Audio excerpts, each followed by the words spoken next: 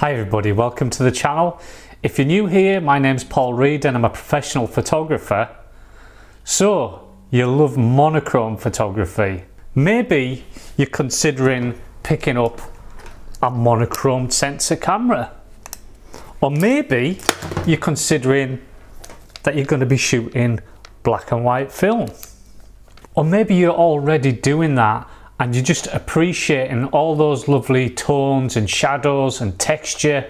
One thing's for sure, if you are a lover of monochrome photography, you're actually in a niche. Not everybody loves monochrome photography, but it's monochrome photography really that speaks to my heart. And if you're watching this channel, then I'm sure it speaks to yours as well. There's an emotional connection that we get through monochrome photography that just can't be achieved with colour. We feel so emotionally connected to the subject in a monochrome photograph. With colour photography, sometimes we can be distracted by, well, by the colours and not really get to the soul of the actual subject itself. When I first purchased the Leica Q2 Monochrom, I was just in awe of all of those shadows and tones and just how beautiful everything was. It was just like seeing the world with new eyes at the time. And I went out every day taking photographs just around my local area and it just took on a whole new life to me, my just small city and I wasn't bothered if there was people in those images. I wasn't bothered about any of that. I was just looking simply at the light and the tones and the texture of everything and then composing the shots and then taking them. I wasn't out just during the day shooting. I was out at night as well and just everything just had a magic to me at that time.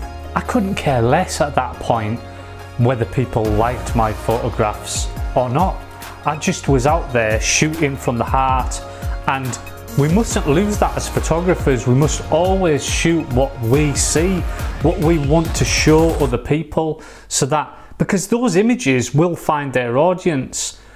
Not everything has to be such a striking image to stop somebody scrolling through Instagram instantly. Art was never meant to be viewed like that art was always something that you would go to an exhibition to see or a gallery and you would take time to look at art that was printed on a wall. We're so lucky these days to have things like Instagram and Vero and things like that to enable us to show our photographs to the world without even leaving our houses. We don't even need to pay a penny to have images in front of such a wide audience. Of course, along with that privilege, we have all the problems and I will just take Instagram as an example for this because Instagram is kind of a, an app or site or whatever you want to call it that we photographers kind of love to hate. That is getting our images out to a wide audience. It's not just going out to photographers, it's going out to lots and lots and lots of people who maybe just aren't even interested in photography. Instagram isn't really a community anymore. You better go into something like Vero if that's what you want. If you're wanting, and I, would advise that you do do that, but just keep in mind that if you're on things like Vero, it's really going to be just mainly other photographers that you are showing your work to.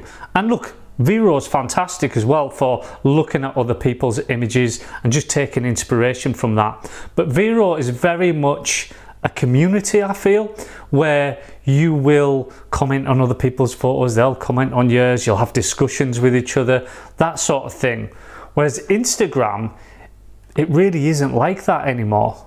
Maybe you're disheartened at the moment with Instagram that you'll put a photograph on there and it just doesn't get it doesn't feel as if it's getting seen or it just doesn't receive many likes from anybody.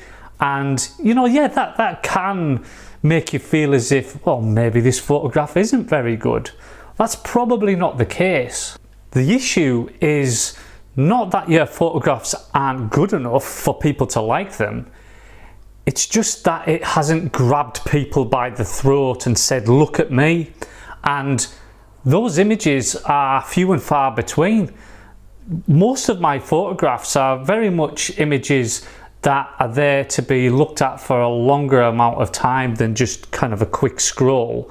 What people tend to do, like I say on Instagram, is they'll scroll through, maybe see something and quickly scroll back to it. so busy just, you know, scrolling through like this. I've got something which I say to people who I mentor all the time, and it's this pop hits versus album tracks.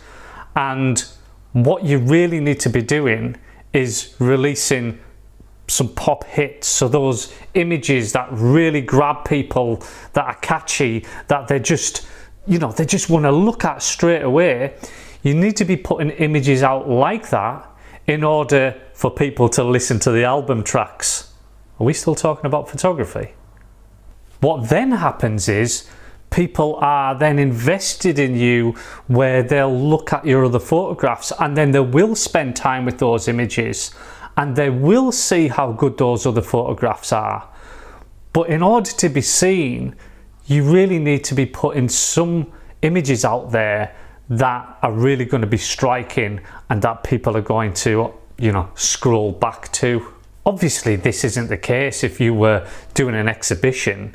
People have you know, traveled there to that exhibition, they're going to be looking at your images for a longer amount of time and they're going to appreciate all those great things about those images. Printing your images should always be the priority. That should be the goal that you aim towards is printing your photographs so that at some point you can do a little exhibition somewhere that you can show people those images physically. I always feel as if you should just have an aim, a goal for something like just say 10 images printed, a body of work that you're going to be able to show people, show people physically. I know I've just plucked 10 images out of the air there, but it's just an example really. Make it five photographs printed, but print something anyone that regularly watches this channel already knows that I favour platinum palladium printing over most processes. Second to that, silver gelatin prints would be next to that as my favourite type of printing. Now platinum palladium prints, they will basically last for generations and that's one of the reasons why I choose platinum palladium printing. I use a gentleman called Roberto from RJ Print Lab to do all my printing and I'll leave a link in the description for that. Platinum Palladium printing is really, it's like leaving a legacy behind because those prints are something that nobody's going to throw out. They look too special to throw out. So sounds really morbid. When I'm not on this earth anymore and those platinum palladium prints remain, I would hope that they go to a good home somewhere or get sold somewhere. I want art that's going to last. I went away to Scotland for the weekend. I had a lovely breakaway and you know, some of these smaller little towns in Scotland, there isn't lots and lots going on there. So it's not really somewhere where you would consider, right, I'm going to go there and do street photography. However, there's other even more beautiful things there to admire and capture. And yeah, some of those images aren't going to grab people by the throat on Instagram and say, look at me. But there's a beauty to some mundane things that, you know, seem mundane anyway.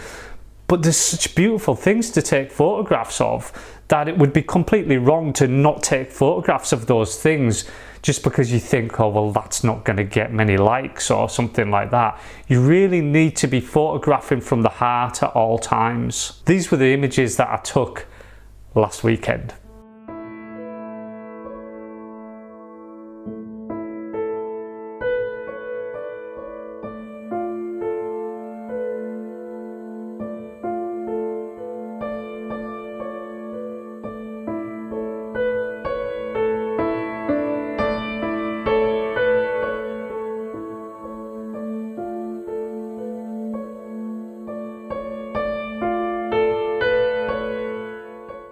Hope you enjoyed those images. I've got um, still got two places left on the London Photo Walk, that workshop on the 9th of November. I'm going to London to do that photo walk and I've still got a couple of spaces left on that. So if you'd like to come along then get in touch with me. I would absolutely love for somebody from the YouTube community to come along. I'd love to meet you. Also, if you would like me to mentor you, then I do a mentorship program. I do that in either four months or eight months. I do it all online over Zoom, and a lot of people are really benefiting from that. So that's something else which I offer. Don't forget to like and subscribe and all of that sort of stuff. I'll see you next time.